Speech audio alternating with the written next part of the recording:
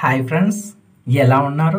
Welcome to my channel village natural tips friends ఈరోజు అమావాస్య కావున నౌకాల తల్లి టెంపుల్కి వెళ్ళాను.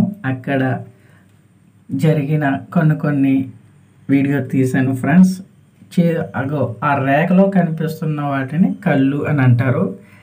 ఆ కళ్ళు ఎవరైనా ఇష్టమైన వారి పేర్లు చెప్పి అక్కడ వేస్తారనమాట ఇక్కడ రాగి చెట్టు వేప చెట్టు ఉంటుంది.